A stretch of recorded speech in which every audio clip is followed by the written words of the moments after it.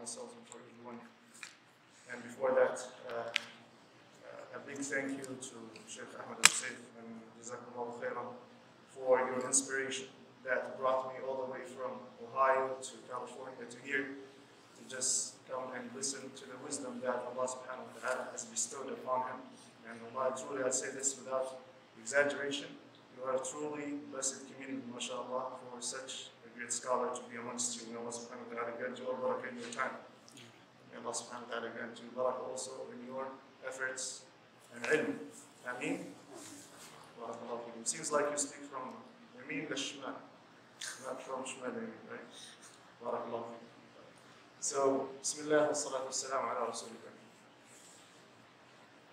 الله سبحانه وتعالى يقول كما سمعنا في الآيات الكريمة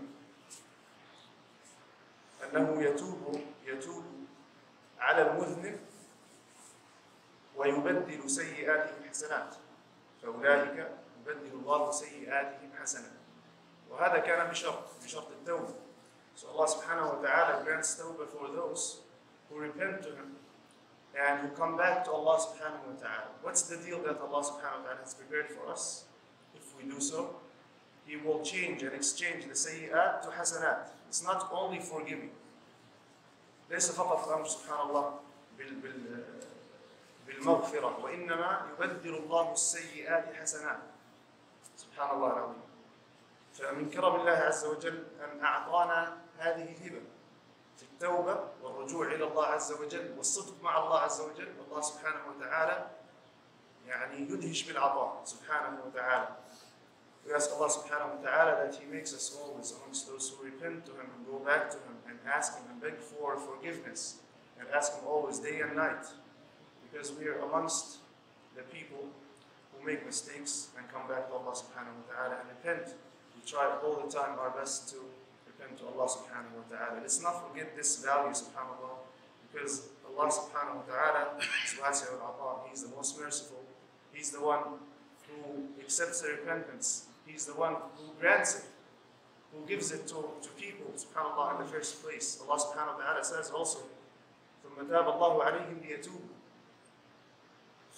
يعني سبحان الله العظيم من رحمة الله وعفوه أن أعطانا القدرة على التوبة والرجوع إلى الله عز وجل وذلك من كرمه قبل أن نتوب قبل أن نتوب ثم تاب الله عليهم ليتوبوا سبحان الله العظيم نسأل الله عز وجل يجعلنا ممن يتوبون إليه وممن يرجعون إليه. ونسأل الله عز وجل أن يبدل سيئاتنا حسنات. ونسأل الله عز وجل أن يجعلنا وإياكم من الصالحين. اللهم اغفر لنا ذنوبنا وإسرافنا في أمرنا. اللهم ثبت أقدامنا وانصرنا على القوم الكافرين. اللهم يا ربنا نقي قلوبنا من الرياء والنفاق والكذب. اللهم إنا نسألك من خير ما سألك به عبدك وحبيبك محمد صلى الله عليه وسلم.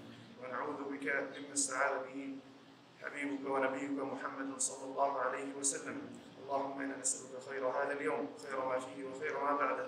ونعوذ بك من شر ما فيه وشر ما بعده. اللهم إنا نسألك علما نافعا ورزقا طيبا وعملا متقبلا.